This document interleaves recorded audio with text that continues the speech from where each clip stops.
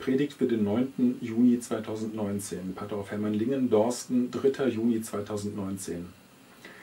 Der Heilige Geist ist vom ersten Pfingsttage an die Seele der Heiligen Kirche. So schreibt der Schott über das Pfingstfest. Heilige Kirche, darf man das sagen? Anscheinend ist die Welt bei aller Zerstrittenheit sich doch noch in einem Punkt einig. Die Kirche ist eine Verbrecherorganisation. Stichwörter wie Kreuzzüge und Inquisition sind dafür nur zwei Beispiele aus unzähligen. Bekanntlich stehen auf Zigarettenpackungen Sprüche wie Rauchen ist tödlich und extreme Satanisten verbreiten gerne Bilder von einem Buch mit der Aufschrift Heilige Bibel, auf der, ganz im Format der Tabaksprüche, ein Zettel mit dem Spruch aufgeklebt ist Durch Religion wurden sehr viel mehr Menschen getötet als durch Zigaretten. Die Heilige Schrift und namentlich die Heilige Kirche ist gemäß der teuflischen Propaganda Quelle der Vernichtung, der Zerstörung, des Untergangs. Dementsprechend wird dann ein Religionsverbot gefordert und oft mit brutaler Gewalt durchgesetzt. Religion wird erklärt zur Privatsache, die allenfalls nur ganz streng geheim im stillen Kämmerlein erlaubt ist und niemals an die Öffentlichkeit gelangen darf. Es kann sein, dass solche Extremsatanisten auch wie besessen rauchen, sodass ihre Haut verschrumpelt, ihr Gebiss zerstört und ein Tabaksbeutelmund ausgebildet ist. Jedenfalls gilt nur der oberste Grundsatz, jetzt muss man das Leben in vollen Zügen genießen. Lasst uns essen und trinken und rauchen und Unzucht treiben und überhaupt jeden irdischen Genuss hemmungslos genießen, denn morgen sind wir tot. Und nur ja keine Religion, nur ja keine heilige Schrift, nur ja keine heilige Kirche, denn das alles ist nur Verderben und Tod. Wer noch an die heilige Kirche erinnert, der ist ein Feind, ein Verbrecher, eine Bedrohung für die Menschheit und die Menschheit muss ihre Feinde ausschalten, erbarmungslos mit aller Gewalt. Und gerne darf auch die Zerstörung der Christen so richtig viel Spaß machen. Je verlogener, je gehässiger, je verletzender, je brutaler, desto schöner, desto lieber. Für skrupellosen Rufmord kriegt man auch in den sozialen Netzwerken massenhaft Likes und Herzchen. Und bei tatsächlicher Existenzzerstörung von Christen jubeln die Satanisten überschäumend. Oh, wie schön ist die Welt, wenn die Kirche, wenn die Christenheit ausgerottet wird. Niemand kann leugnen, dass es in der Kirche Sünder gibt.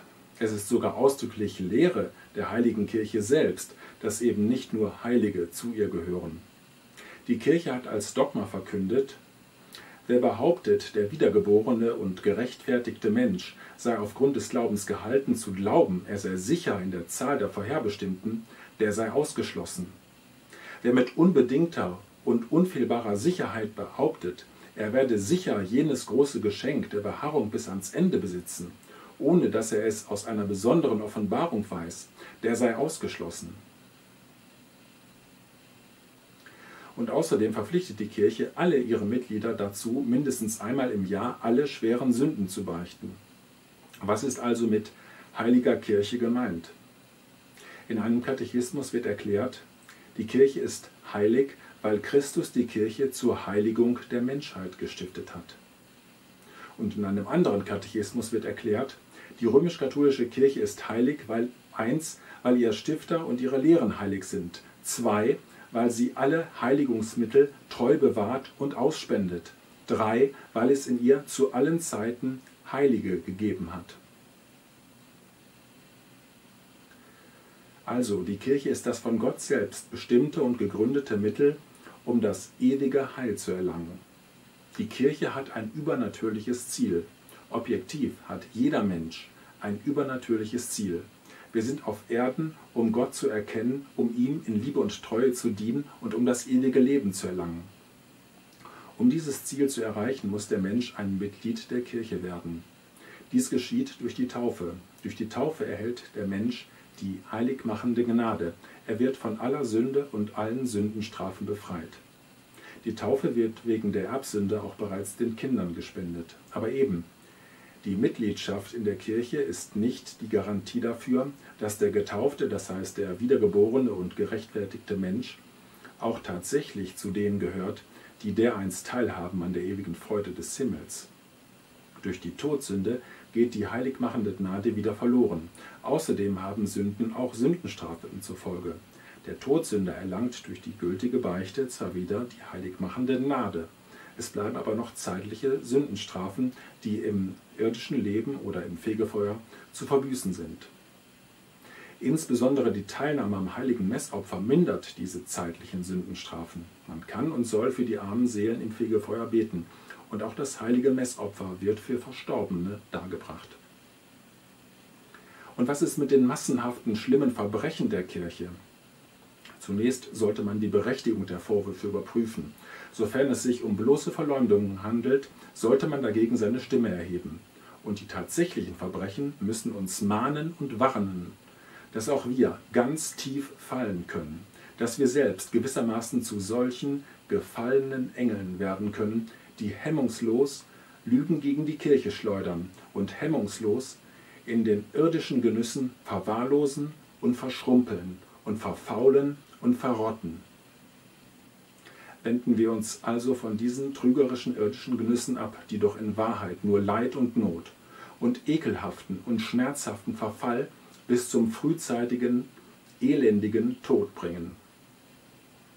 Schauen wir in Freude und Dankbarkeit auf das große Gnadengeschenk Christi.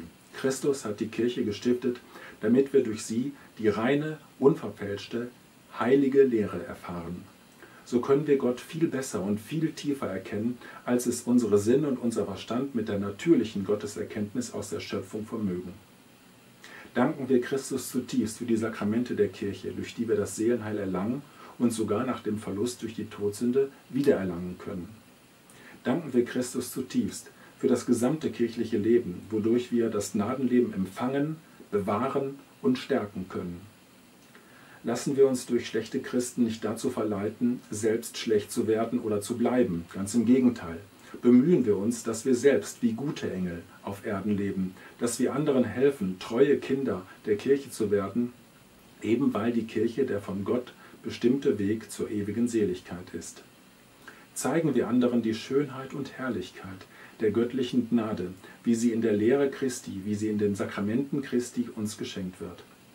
Tragen wir immer froh und demütig das Gebet in unseren Herzen, Komm, Heiliger Geist, erfülle die Herzen deiner Gläubigen und entzünde in ihnen das Feuer deiner Liebe. Amen.